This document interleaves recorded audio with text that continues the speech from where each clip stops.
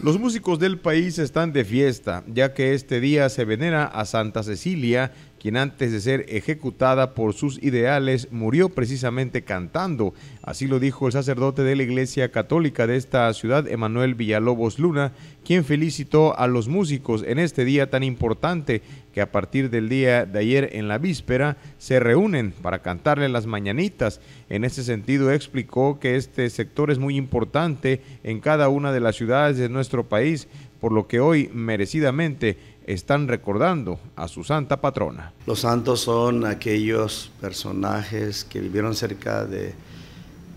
del Evangelio, vivieron la vida de, muy cercana a Jesucristo, tuvieron el Espíritu de Dios, tuvieron virtudes humanas y cristianas también, como es el caso de Santa Cecilia, hoy 22 de noviembre. Ella se distinguió pues por su labor cristiana en Roma, de que a los emperadores eh, no les gustó la forma en que ella vivía, de que daba culto al Dios verdadero. Y cuentan que cuando la estaban martirizando, que murió porque la degollada, ella estuvo cantando, dice en su acta de martirologio, estaba cantando y por eso la Iglesia Católica le dio que fuera la patrona de los músicos, que nos alegran de muchas maneras a, los seres humanos, la música bien bella que Dios ha puesto en este mundo también, y gente con muchos dones y carismas, pues con los instrumentos suenan eh, canciones muy bonitas para todos los seres humanos. Sí, hoy celebramos, hubo la velada en la capilla, hubo una celebración y pues estamos, seguimos celebrando a Santa Cecilia. El padre, obviamente, pues eh, con ello va la, intención de desear lo mejor para los músicos aquí en Tecpan. Sí, sí, les deseamos por lo mejor, bendiciones para ellos. Muchos músicos son cristianos católicos, son de misa el domingo y dan gracias a Dios por todos los, todos los, dones que Dios les ha dado, los, los ha adornado a ellos para que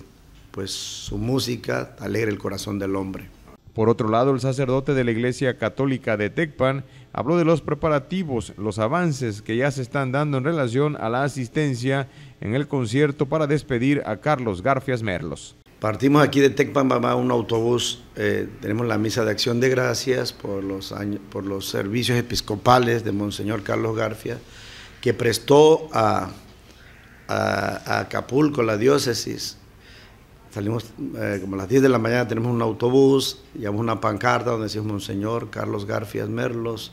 Tecpan de Galeana le agradece su, servicio, su servicio, su trabajo arduo por la paz. Y sí, vamos a tener la, la Santa Misa en este contexto por la paz también, que cada año organizaba la Diócesis de Acapulco una semana por la paz. Estamos en ella, trabajando con eventos en algunas parroquias. Y eh, eh, se clausuró el sábado también, eh, el monseñor tenía ahí pensado cerrar la misericordia por la diócesis, el papá ya lo hizo el 20 de noviembre, eh, luego también vamos a tener pues un concierto, un concierto católico de la misión Cielo Abierto, con efectos de luces y sonido, que va a estar después de la misa, va, cerramos con esto, y pues en ese contexto, contexto perdón, de la de, de la marcha de nuestro señor obispo que se va a Morelia, queremos agradecerle y desearle lo mejor allá, que también trabaje por la paz en Morelia. Y para nosotros, con él seguiremos siendo amigos para siempre. Los músicos, dijo el sacerdote de la ciudad, son una parte importante, alegran la existencia, son los que ponen la alegría en cada una de las reuniones o eventos sociales y es por eso que ellos cada año tienen todo el derecho de venerar a Santa Cecilia. Para Canal 6 informó Guillermo Hernández.